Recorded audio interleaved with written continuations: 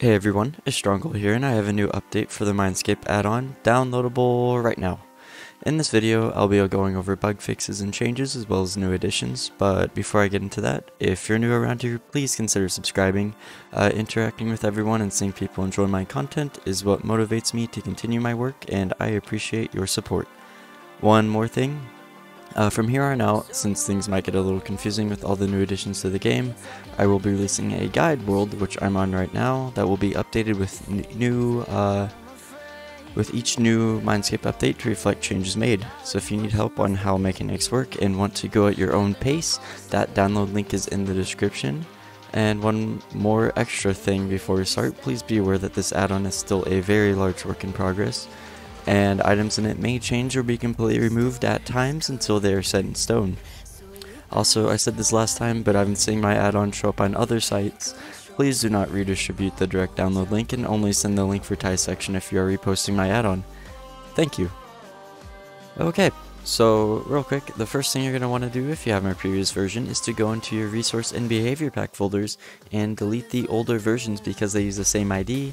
If you need help with that, what you're going to do is go onto Windows and you go to the start menu and type in C backwards C colon backwards slash users, your PC username. I'll go ahead and enter mine, then press enter and now we're gonna have this folder here. We're gonna go to app data. Click on that. Gonna click on local local blah, blah. click on package whoa, whoa what am I doing? Click on local click on packages. Look for Microsoft.Minecraft UWP click on local state. Games com.mojang and then you're going to want to go into your behavior packs folder delete the minescape add-on that's in here and go to your resource packs folder and delete the one that's in here. Once you've done that it should install correctly uh, and then you should be able to just run it in your world. Uh, I won't be able to show you how to get to the files on if you're on a mobile device or other device um, but I have left a link to a Minecraft.net help page that will help you how to access your files in the description, so make sure to check that if you need it. Alright, so with all that out of the way, let's go through some bug fixes. There's really only two. Uh, the uncommon and rare loot bags had an issue where logs would sometimes drop unusable, and the Chunken could not be healed with the right items. That stuff is all fixed now, or it should be fixed so you shouldn't run into any issues where you're getting logs that just are completely useless and don't stack. Okay, moving on to new features, and by the way, this is all in the guide world, or well, this is the guide world. Let's start with the Ender Dragon sets. So if I hit this button, this whole hallway has everything to do with the Ender Dragon armor sets, and these books and lecterns around here will tell you everything about the corresponding armor pieces or section that you're in. So the Ender Dragon armor is a new endgame armor set to go after that drops from the Ender Dragon, obviously. The Ender Dragon has a chance to drop full armor pieces, full tool sets, dragon scales, or empty crystals. And you can see right here, we've got dragon boots, dragon plate legs, plate body, helmet, and then we have these weird looking ones. They're still plate bodies, but there's a W, S, P, and B, what these actually stand for is weakness, slowness, poison, and blindness. And each of them will do a certain effect. And in this case, these will remove these effects. So with this chest plate on, with the with, with the weakness one on, you're now immune to the weakness effect. With the slowness one on, you're immune to slowness. With poison, you're immune to poison. And with blindness, you're immune to blindness effect.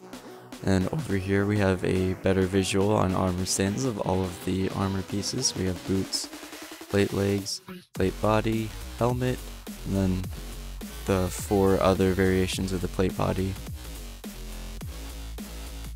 And now, if we go onto tools, we've got the dragon sword, dragon pickaxe, axe, shovel, and the hoe and they these tools are a step above netherite tools so they are going to be working faster so these are going to be like the new end game uh, tools you go for and then over on this side we have the better visual of them, we have the sword, pickaxe, axe, shovel, and hoe right there for you. And then if we move on to the empty crystals, uh, crystals are a new item dropped from the Ender Dragon.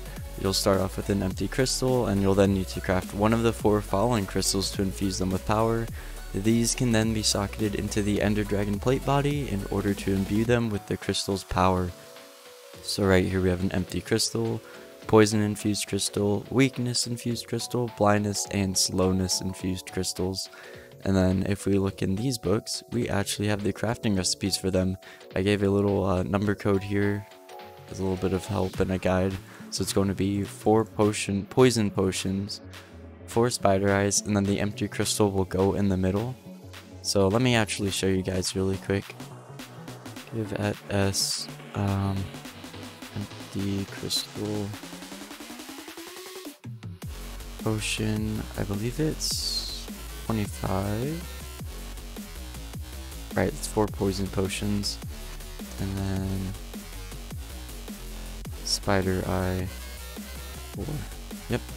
Uh, I don't have a crafting table. Do. And by the way, uh, any of the potions in these, these are all going to require potions. Uh, first off, uh, any of the potions are all going to be the tier 1 versions. Don't make any of the higher tier ones or the uh, craft will not work. Yep, here we go. And then poison infused crystal and we get 4 empty glass bottles back. And then over here is just another visual of all of the crystals on the armor stands. And now if we go over here to the uses of the crystals, all we have to do to socket it is put a put one of the empty plate bodies next to the crystal in the crafting menu. And then voila we will have the corresponding plate body. And I think this can be done in any menu dragon plate body of poison you can put it on right there and now I'm immune to the poison effect so if I go back into survival mode effect at S poison you know what, let me do Fatal Poison. 20, 10, true. Nothing happens. Well, nothing happens because I did the I did the wrong identifier. Okay, see, it gave me poison. That should probably kill me pretty quickly. Um, but it did nothing. So if I take this body chest plate off, and let me give it to myself again, just so you see. Yeah, yeah, because that's going to kill me pretty quickly. But now I'm immune to it. And this will work for all of these plate bodies. Uh, just another reminder for you guys, these are subject to change. Uh, so they might change in the future. I actually have some ideas where I think they will be changing because I think it is a little bit overpowered uh, for you to be able to just put one of these on a chest plate and then like, ah, I'm immune to poison. But anyways, uh, that's not going to be until later. Moving on, we have the Dragon Scale and the Dragon Ingot. Now, the Dragon Scale is a new item in the game that can be smelted into a Dragon Ingot and turned into various armors and tools from the Ender Dragon set. So right here, let me go back into Creative. We have the Dragon Scale, Dragon Ingot. The way to use the Dragon Scale you're going to use a furnace or a blast furnace. let me give myself coal. And you're just to smelt it in a furnace or blast furnace and then just wait for that to finish and it will turn into a dragon ingot. Now of course all the crafting recipes for any of the armor pieces and tools is going to be exactly the same as it is in vanilla. I don't know why I did that. There, so I have six of these. Show you real quick. Craft a dragon helmet like so. I can put it on. And then this is going to be it for the Ender Dragon armor set. So let's go ahead and move on over to the Wither set. So I'm going to hit this to go back into the uh, sort of like main hub area of the map. And go to Wither. And then here we have, uh, it's going to be, say, basically the same thing as the Ender Dragon armor set, but it's going to be for the Wither. So we can forget about that for now. We have the Wither boots, Wither plate legs, plate body, and Wither helmet. Now the Wither plate body, just like the uh, upgradable Ender Dragon plate body, uh, has a special effect, and it's going to be that you are immune to the Wither effect skill, or the Wither effect, I don't know why I said skill. Um, and then over here we have a visual, we have the boots, plate legs, plate body, and the helmet. Um, right here, if I can take this helmet, thank you.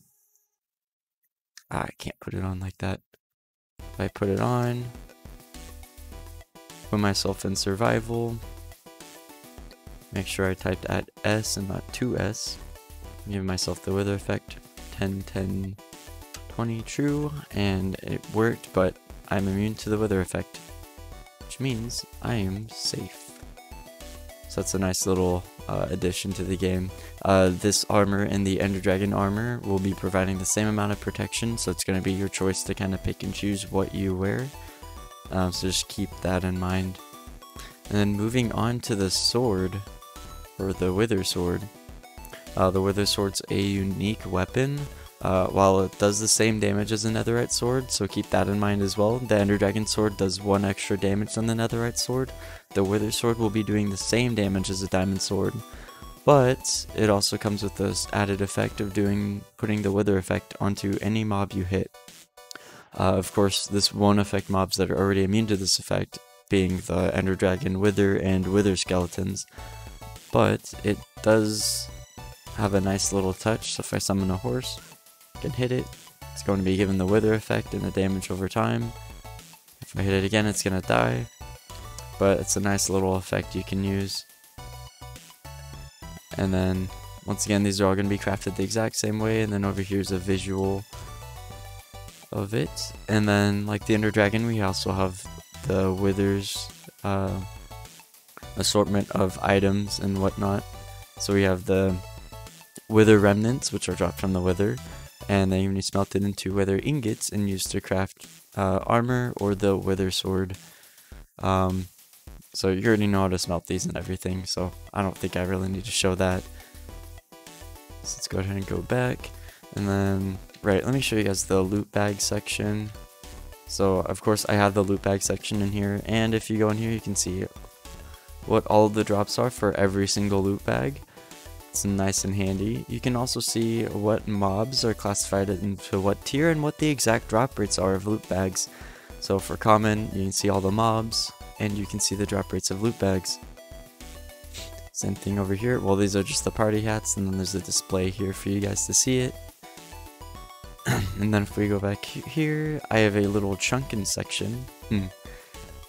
Uh, so it talks all about the Chunken and what you need to do with them, and then it even has an area in here where you can spawn some of your own and then tame them, and you get to mess around with these in a uh, creative world, sort of.